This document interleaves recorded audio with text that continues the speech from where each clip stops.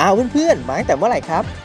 สวัสดีครับแหมตอนนี้จีบอดกำลังเล่นเกมบนสมาร์ทโฟนอยู่พอดี งั้นก็ถือโอกาสแนะนำแอปเกมครับให้เพื่อนๆกันเลยดีกว่า เดี๋ยวนี้นะครับสมาร์ทโฟนแต่ละเกมเนี่ยสนุกจริง ๆ จะมีเกมอะไรบ้าง ไปดูกันเลยครับ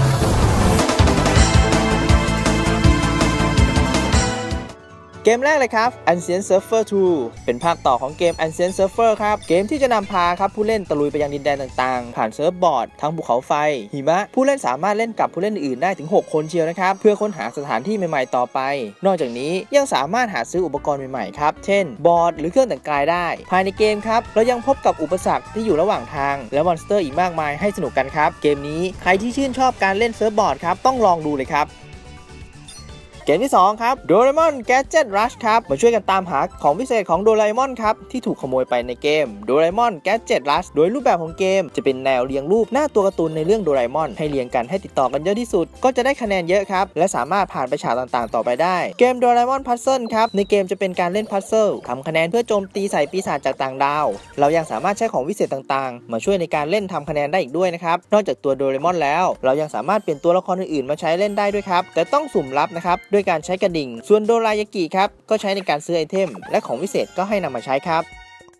เกมที่ 3 ครับ Crusader Quest ครับ เหล่าฮีโร่นักรบล่า quest ครับ ใครที่กำลังมองหาเกมแนวแอคชั่น RPG ครับ แบบไม่ต้องเน้นกราฟิกมาก ระบบการเล่นแบบลุยกับศัตรูเยอะๆ แถมระบบ PVP หรือ Co-op ครับ ต้องลองเกมนี้เลยครับ รายละเอียดของเกมนะครับ ตัวเกมนี้ที่เห็นหลักๆเลย คือเรื่องของกราฟิกครับ จะเน้นกราฟิกแบบยุคเกม 16 บิต ก็คือสมัย Super Famicom นะครับ แต่ถึงกราฟิกไม่ HD แต่รูปแบบเกมต่างหากครับที่น่าสนใจกว่า โดยการเล่นก็คือให้ผู้เล่นสะสมฮีโร่ครับที่มีมามากมายกว่าหลักร้อยอาชีพ มีความสามารถแตกต่างกันไปเพื่อนำไปรบกับศัตรูหรือสามารถเล่นกับเพื่อนๆของเราเองก็ได้ ระบบการเก็บสะสมฮีโร่ครับ มีให้มากถึง 200 กว่าฮีโร่เห็น16 บิตแบบนี้แล้วนะครับ อย่าคิดว่าเป็นธรรมดานะครับ ต้องบอกว่าถือเป็นเกมแนวใหม่ในตลาด รวมถึงกราฟิกแนวเรโทรครับ ที่ไม่จำเป็นต้องสวยงาม แต่ขอให้มีเสน่ห์เพียงพอ ซึ่งสามารถทะยานสู่ยอดดาวน์โหลดเกมได้อย่างรวดเร็ว ใครที่ยังไม่เคยลองต้องลองเลยครับ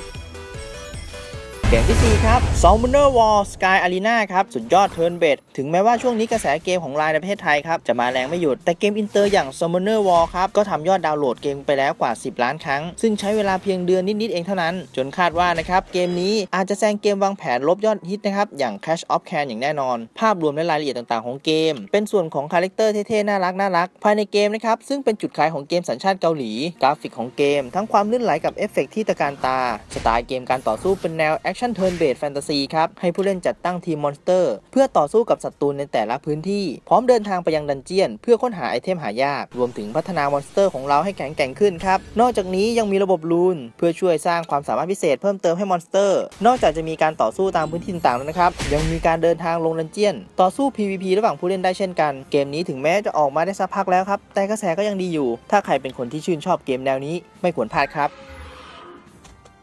เกมสุดท้ายครับ Pirate King